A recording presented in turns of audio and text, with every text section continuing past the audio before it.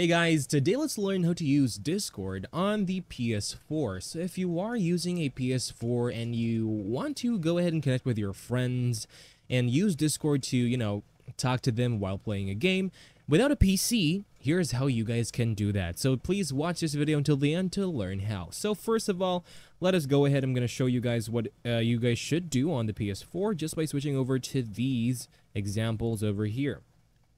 Okay, so over on your PS4, once you have already booted up your device, what I want you guys to basically do once you have already done so is to go ahead and tap on your library right here on the top corner. Now you should see, uh, or rather you should tap on your library right, right, right here right beside the game.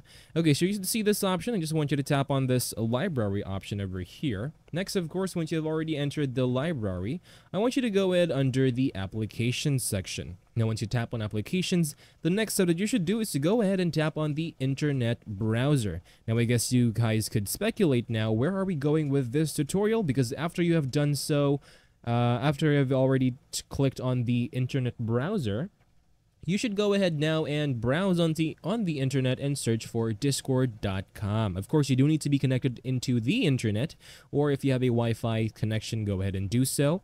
But then, of course, once you've already searched for Google or rather for discord.com, tap on go or the R2 on your controllers on the PS4, and then, of course, you're going to go ahead and log on to your accounts on Discord so go ahead and proceed with entering your username or email as well as your password.